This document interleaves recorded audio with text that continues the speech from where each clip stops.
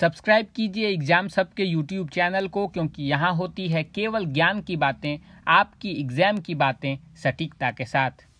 देर से ही सही पर सीबीएसई ने स्वयं इस बात को महसूस कर लिया कि जिस तरीके से उन्होंने नए नए शब्दों का प्रयोग इस बार के रिज़ल्ट में किया है, वह छात्रों की टेंशन कम करने के बजाय उन्हें और कंफ्यूज कर रहा है।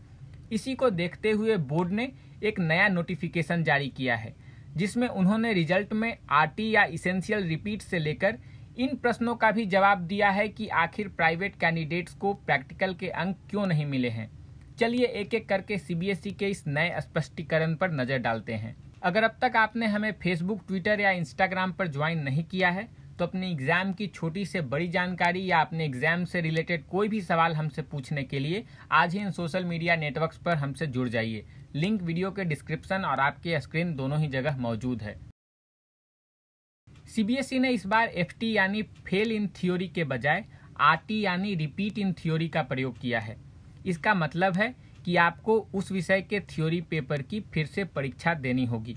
इसी प्रकार एफपी यानी फेल इन प्रैक्टिकल के बजाय आरपी यानी रिपीट इन प्रैक्टिकल लिखा गया है। इसका अर्थ है कि आपको उस विषय में प्रैक्टिकल फिर से देना होगा। सीबीएसई ने पहली बार फेल की बजाय रिज़ल्ट में इसेंशियल रिपीट लिखा है। इसका मतलब है कि आप इस परीक्षा में फेल हुए हो, पर सीबीएसई डायरेक्टली इस बात को न कहकर इनडायरेक्टली आपसे यह कह रहा है।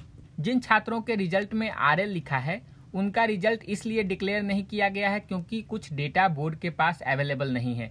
RL का मतलब है रिज़ल्ट लेटर रिज़ल्ट डिक्लेरेशन के बाद इस मैटर को सीबीएसई अलग से देखेगा और जल्द इन रिजल्ट्स को पब्लिश करने की कोशिश करेगा।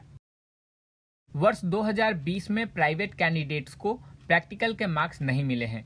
बोर्ड का कहना है कि इन छात्रों द्वारा थ्योरी में प्राप्त किए गए अंकों के अनुसार ही प्रैक्टिकल के मार्क्स थ्योरी में ऐड कर दिए गए हैं। यानी आपको थ्योरी में जो अंक मिले हैं, उसी में प्रैक्टिकल के मार्क्स जोड़े गए हैं। और ये मार्क्स आपको थ्योरी में लाए गए मार्क्स के आधार पर मिले हैं।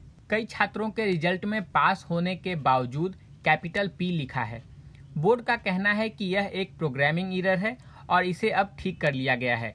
आपके मार्कशीट में अब यह शो नहीं करेगा। इसी प्रकार आपके रिज़ल्ट में कैपिटल जी भी प्रोग्रामिंग इरर है, जिसे अब रेक्टिफाई किया जा चुका है।